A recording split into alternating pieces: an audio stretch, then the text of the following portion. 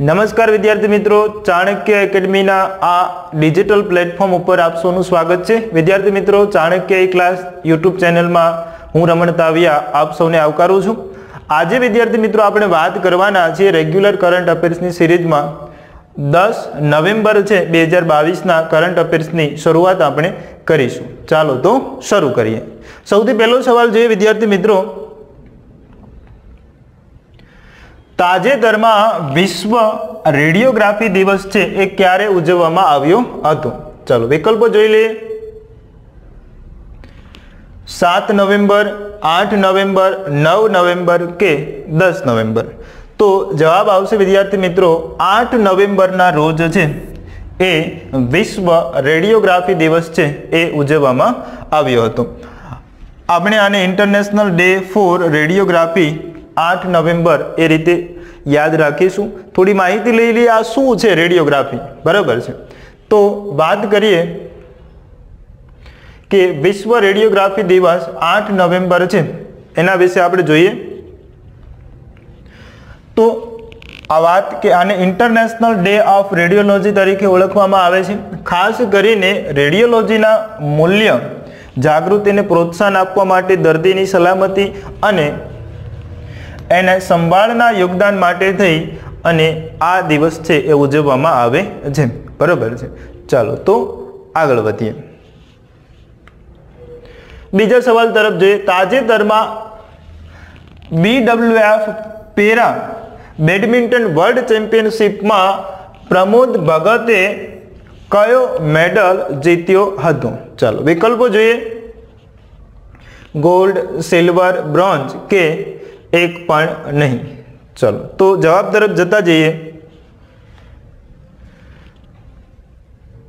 તો વિદ્યાર્થી મિત્રો, પેરા બેડમિન્ટનમાં છે, એમણે ગોલ્ડ મેડલ છે, એ જીત્યો છે. ફોટોમાં આપ જોઈ શકો છો. પ્રમોદ ભગત છે, વિદ્યાર્થી મિત્રો, આ અગાઉ પણ તમે નામ સાંભળ્યું હોવું જોઈએ કે ટોક્યો ઓલિમ્પિકમાં પણ તેઓ ભારત માટે છે ગોલ્ડ મેડલ જીતેલા છે. બીડબ્લ્યુએફનું પૂરું નામ તમને ખ્યાલ હોવો જોઈએ. બેડમિન્ટન વર્લ્ડ ફેડરેશન છે એ રીતનું થશે. બરાબર, આંતરરાષ્ટ્રીય સ્તરે બેડમિન્ટનનું સંચાલન કરતી સંસ્થા છે. ચલો, ત્યાંથી આગળ જોઈએ આપણે. વાત જોઈએ કે ભાઈ આમાં પ્રમોદ ભગત વિશે આપણે થોડી માહિતી જોઈ લઈએ. તો પ્રમોદ ભગત છે ટોકિયોમાં બેડમિન્ટન પેરા વર્લ્ડ ચેમ્પિયનશિપમાં સિંગલ્સમાં છે એમને આ મેડલ જીત્યો છે અને ટોકિયો ઓલિમ્પિકમાં પણ તેમણે ભારતને ગોલ્ડ મેડલ અપાવ્યો હતો. બરાબર? તો યાદ રાખીશું પ્રમોદ ભગત છે એના માટે. બે પ્રશ્ન યાદ રાખી શકાય કે ભાઈ, પ્રમોદ ભગત છે એ કઈ રમત સાથે સંકળાયેલા છે? તો આપણો જવાબ હોવો જોઈએ. બેડમિન્ટન સાથે સંકળાયેલા છે. અને એમણે કયો મેડલ જીત્યો છે? તો આપણો જવાબ આવશે, વિદ્યાર્થી મિત્રો, ગોલ્ડ મેડલ છે, એમણે જીતેલો છે.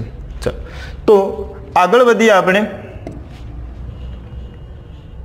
ત્રીજા સવાલ તરફ.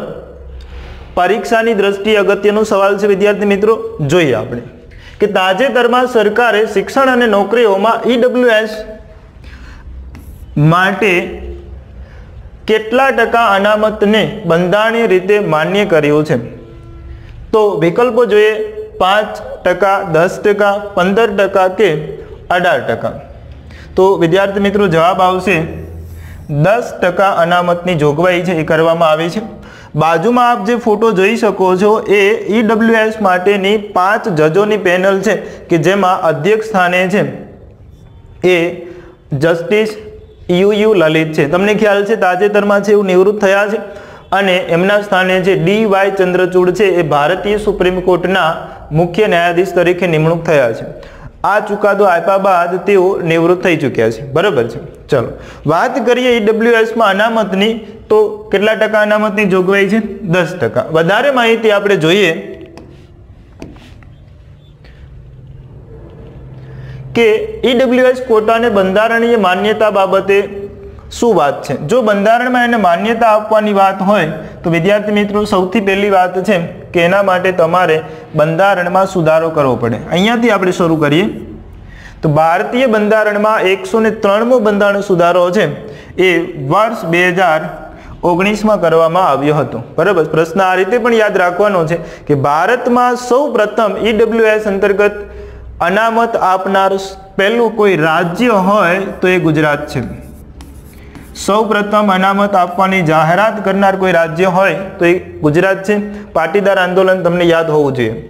બરાબર? સુપ્રીમ કોર્ટે ત્રણ વિરુદ્ધ બે. આ જે વાત છે, વિદ્યાર્થી મિત્રો, કે પાંચ જજની જે પેનલ છે, એમાંથી ત્રણ જજ દ્વારા આ જે સુધારો છે, એને માન્યતા માટે જ્યારે બે જજ છે, એમણે વિરુદ્ધમાં મત આપ્યો હતો. પરંતુ ત્રણ જજોએ માન્યતા આપી હોવાથી આ પેનલ છે એમાં આપણે ઈડબ્લ્યુએસ માટે સુધારો છે મંજૂર કરવામાં આવ્યો છે. ખાસ સુપ્રીમ કોર્ટના મુખ્ય ન્યાયાધીશ યુ યુ લલિત પણ આ ચુકાદાની વિરુદ્ધમાં હતા. પરંતુ ત્રણ જજ છે એની પેનલ એટલે આમની બહુમતી થતાં આ ચુકાદો માન્ય ગણાયો છે. આ અંતર્ગત કેન્દ્રએ સામાન્ય વર્ગના ગરીબોને દસ ટકા અહીંયા આવો શબ્દ પણ તમને જોવા મળી શકે. આર્થિક, હા, સવર્ણ વર્ગના લોકોની વાત થઈ રહી છે જેઓ આર્થિક રીતે પસાત હોય. બરાબર છે. અને આ પગલાંથી આરક્ષણની મર્યાદા સાહીઠ ટકા થઈ ગઈ છે. યાદ રાખશો, અત્યાર સુધી જે પચાસ ટકા હતી, એ હવે કેટલા ટકા થઈ ગઈ છે, વિદ્યાર્થી મિત્રો? સાહીઠ ટકા. બેથી ત્રણ પ્રશ્નો આમાંથી અગત્યના યાદ રાખીશું. એકસો ને ત્રણમું, બંધારણીય સુધારો વર્ષ આવશે. બે હજારને ઓગણીસ કેટલા જજની પેનલ? તો પાંચ જજની પેનલ દ્વારા છે આ ચુકાદો આપવામાં આવેલો છે. અને આમાં સૌ પ્રથમ રાજ્ય કયું બન્યું છે વિદ્યાર્થી મિત્રો? તો આપણો જવાબ આવશે ગુજરાત. ચલો રેડી તો આગળ વધીએ આપણે. ઓકે. નેક્સ્ટ સવાલ જોઈએ કે તાજેતરમાં ઉત્તર પ્રદેશ સરકારે ક્યાં સુધી મથુરા વૃંદાવનને કાર્બન ન્યુટન પ્રવાસન સ્થળ બનાવવાની જાહેરાત કરી છે. તમે જોતા હશો, વિદ્યાર્થી મિત્રો, આ શબ્દ હવે અવારનવાર છે, આપણે નજરે ચડવા માંડ્યો છે. ચાલો વિકલ્પો જોઈ લઈએ. બે હજાર પાંત્રીસ, બે હજાર એકતાલીસ, બે હજાર ત્રીસ કે એક પણ નહીં. તો સીધા જ આપણે જવાબ તરફ જઈએ છીએ. બે હજાર એકતાલીસ સુધીમાં ઉત્તર પ્રદેશ સરકાર છે, એ આ મથુરા વૃંદાવનનું જે પ્રવાસન સ્થળ છે, એને કાર્બન ન્યુટ્રલ પ્રવાસન સ્થળ તરીકે વિકસાવશે. બાકી બાજુમાં આપ ફોટોમાં પણ જોઈ શકો છો. હવે થોડી વાત આગળ આપણે કરીએ. તો નેક્સ્ટ સવાલ પહેલાં જોઈ લઈએ. ચલો. આ જે કાર્બન ન્યુટ્રલ છે, વિદ્યાર્થી મિત્રો, ત્યાંથી આપણે થોડા પ્રશ્નો યાદ રાખવા જરૂરી છે. આવો સવાલ બની શકે. ભારતની સૌ પ્રથમ કાર્બન ન્યુટ્રલ પંચાયત કઈ હતી? તો વિદ્યાર્થી મિત્રો જવાબ યાદ રાખીશું. પલ્લી, જમ્મુ અને કાશ્મીર.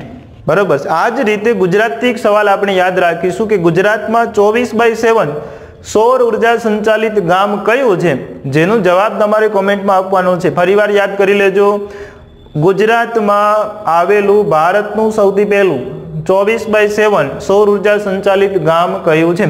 કોમેન્ટ કરો જોઈએ ચલો, આપણે આગળના સવાલ તરફ જઈએ.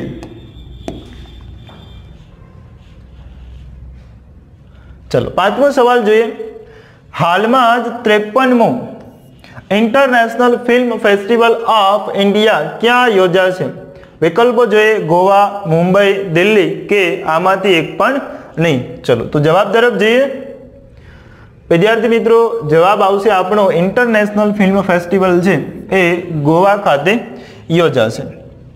આપ બાજુમાં ફોટોમાં પણ જોઈ શકો છો. બાવનમો International Film Festival of India ક્યાં યોજાશે? ગોવામાં. ગોવાથી એક સવાલ વિદ્યાર્થી મિત્રો યાદ રાખવાનો છે, જે આપણને પરીક્ષામાં અગત્યનું બની શકે. તમને ખ્યાલ છે, ગુજરાતમાં છત્રીસમી નેશનલ ગેમ્સ છે, એનું આયોજન થયું?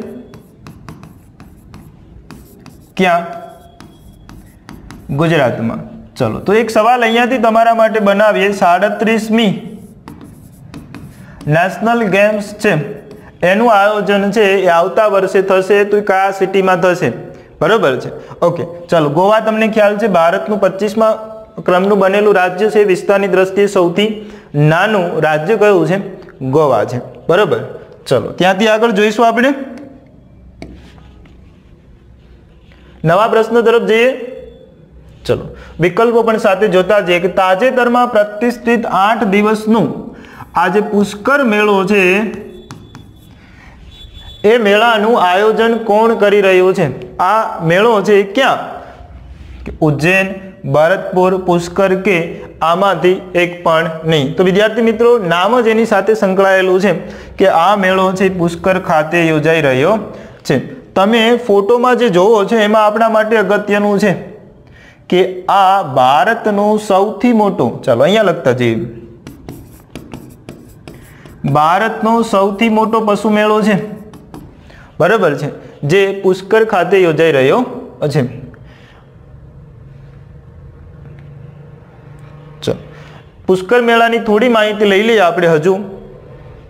કે આ જે મેળો છે, વિદ્યાર્થી મિત્રો, ખાસ કરીને ઊંટની લેવેચ માટે જાણીતો છે. અને આવો જ એક મેળો આપણે ગુજરાતમાં ભરાય છે.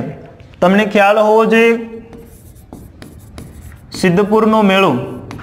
પરીક્ષામાં પૂછી શકે કે ગુજરાતમાં ઊંટની લેવેચ માટે જાણીતો મેળો કયો છે? તો જવાબ આવશે સિદ્ધપુરનો મેળો, જેને આપણે કાર્તિકી પૂર્ણિમાના મેળા તરીકે પણ ઓળખીએ છીએ. બરાબર છે? અને જેમ પૂછાય કે ગુજરાતમાં ગધેડાની લેવેચ માટે કયો મેળો જાણીતો છે, એનો જવાબ તમારે મને કેવો પડશે? ચલો. ગધેડાની લેવેચ. ઊંટ માટે આપણે જવાબ લખ્યો સિદ્ધપુર, દેશમાં પૂછાય તો આપણો જવાબ શું આવશે? પુષ્કર. ચલો. ઓકે. આગળના સવાલ તરફ આપણે જઈએ. સાતમો સવાલ જોઈએ કે Forbes world best employers ranking બે હજાર બાવીસમાં ટોપ સોમાં એકમાત્ર ભારતીય કંપની કઈ છે?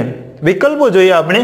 Adani new industries limited Reliance industries limited Meghnagar engineering and infrastructure કે Hindustan computer limited best employer એટલે વિદ્યાર્થી મિત્રો, રોજગારીની વાત થઈ રહી છે. નોકરી આપનારી સંસ્થાઓ છે અથવા કંપની છે, એમાં ભારતની એક જ પસંદ થઈ છે. અને એ વિદ્યાર્થી મિત્રો છે રિલાયન્સ ઇન્ડસ્ટ્રીઝ બરાબર છે? સૌથી બેસ્ટ કંપની એમ્પ્લોયર માટે છે, એ ભારતની બની છે. રિલાયન્સથી વિદ્યાર્થી મિત્રો, તમને ખ્યાલ હોવો જોઈએ કે રિલાયન્સમાં આપણે જે ફાઇવજીની વાતો કરીએ છીએ, એક નામ અહીંયાથી તમને પૂછી શકે. આકાશ અંબાણી. શા માટે પૂછી શકે? તો કે આકાશ અંબાણી છે એ જીઓના નવા ચેરમેન તરીકે નિયુક્ત થયા છે. જીઓના ચેરમેન. સાથે સાથે તમારે યાદ રાખવાનું છે કે આકાશ અંબાણી જે છે, વિદ્યાર્થી મિત્રો, એ ટાઈમ મેગેઝિનની સો ઉભરતા બિઝનેસમેનની યાદીમાં પસંદ થનાર એકમાત્ર ભારતીય છે. એટલે આપણે બે રીતે યાદ રાખવાનું કે વિશ્વમાં બેસ્ટ એમ્પ્લોયર માટે એકમાત્ર સંસ્થા તો રિલાયન્સ અને રિલાયન્સમાં જીઓના ચેરમેન આકાશ અંબાણી જેવો છે, તેઓ ટાઈમ મેગેઝિનના ઉભરતા નેતાઓની યાદીમાં એકમાત્ર પસંદ થયેલા છે. ચલો, તો હા, આટલું ધ્યાન રાખીશું. અદાણી ન્યૂ ઇન્ડસ્ટ્રીઝ લિમિટેડનો એક સવાલ યાદ કરી લે, વિદ્યાર્થી મિત્રો. તમારે યાદ રાખવાનું છે કચ્છનું મુન્દ્રા ભારતનો સૌથી મોટો વિન્ડ પ્લાન્ટ છે, એ કોણ સ્થાપી રહ્યું છે? અદાણી સ્થાપી રહ્યું છે અને ક્યાં, વિદ્યાર્થી મિત્રો? મુન્દ્રા ખાતે. બાકી તમને ખ્યાલ છે મુન્દ્રા છે એ ખારેક સંશોધન કેન્દ્ર માટે પણ જાણીતું રહેલું છે. ઓકે. આગળના સવાલ તરફ આપણે જઈએ. ચલો. આ વાત છે કે ફોર્બ્સના વર્લ્ડ બેસ્ટ એમ્પ્લોયર રેન્કિંગમાં છે.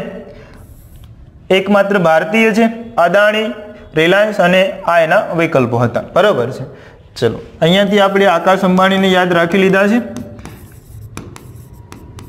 ઓકે આગળ જોઈએ.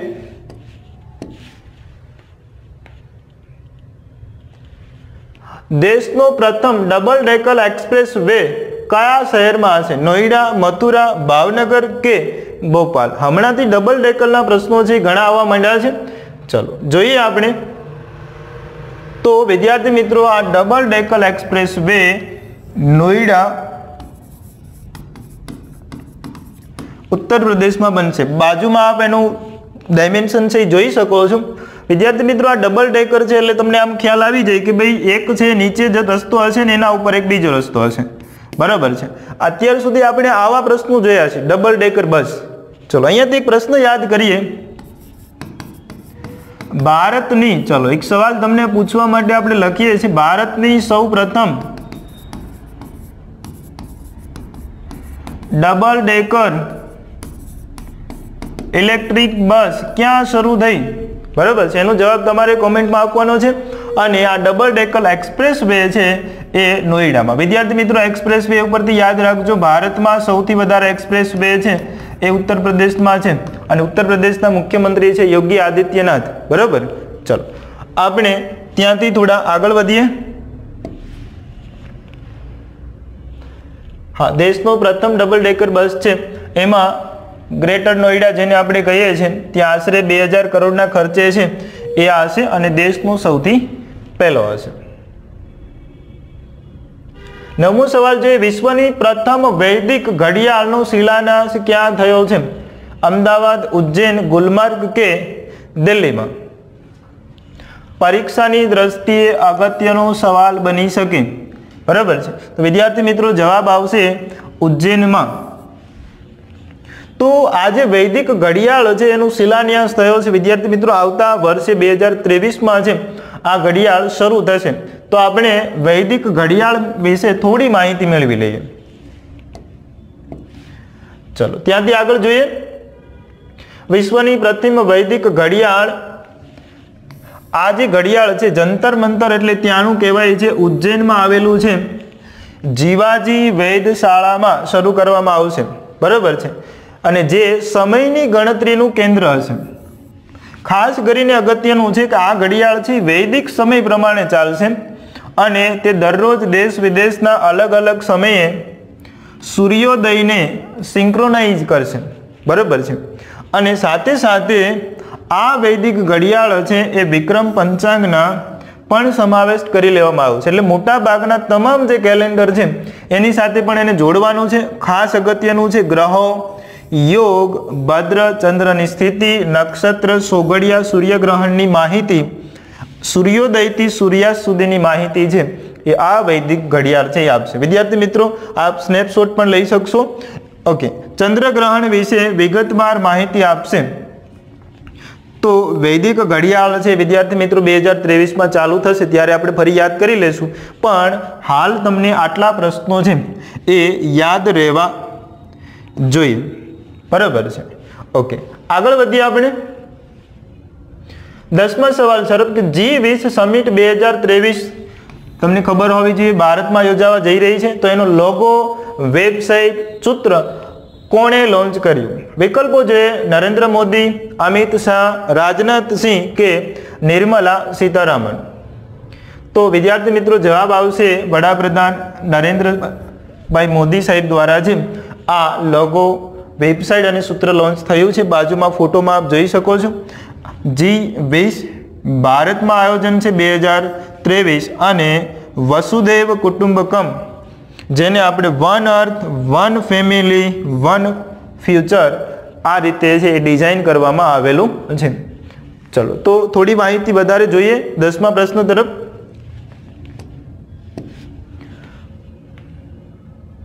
ઓકે. જી વીસ સમિટ બે હજાર ત્રેવીસ. આ સમિટનું સૂત્ર રહેશે એક વિશ્વ, એક પરિવાર છે, એક ભવિષ્ય, જેને આપણે શું કહીશું? વસુદેવ કુટુંબકમ નવ, દસ સપ્ટેમ્બર બે હજાર ત્રેવીસમાં આવતા વર્ષે યોજાશે. જી વીસની વાત કરીએ વિદ્યાર્થી મિત્રો, તો આ વીસ છે, વીસ દેશોની વાત છે, પણ હકીકતે એમાં ઓગણીસ સભ્ય દેશો અને યુરોપિય યુનિયન આખું છે, એમાં સમાવિષ્ટ છે. આ આંતરરાષ્ટ્રીય આર્થિક સંયોગ માટેનું એક મુખ્ય મંચ તરીકે આને ઓળખવામાં આવે છે. અને જી વીસની પ્રથમ સત્તાવાર બેઠક ઓગણીસો ને નવ્વાણુંમાં ડિસેમ્બર છે. એમાં બર્લિન ખાતે છે, એ યોજાઈ હતી.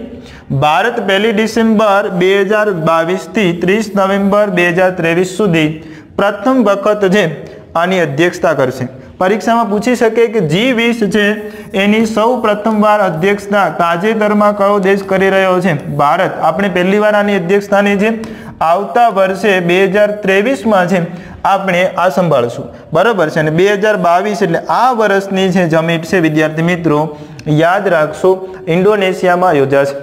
ઓકે. ચલો, તો આ હતા વિદ્યાર્થી મિત્રો, આજના અગત્યના દસ પ્રશ્નો. બરાબર? તમને જો વિદ્યાર્થી મિત્રો વીડિયો ગમ્યો હોય તો લાઇક શેર અને કોમેન્ટ કરવાનું ભૂલશો નહીં. થોડા જે નાના મોટા સુધારા છે એ પણ આપ કોમેન્ટમાં લખી શકો છો. Thank you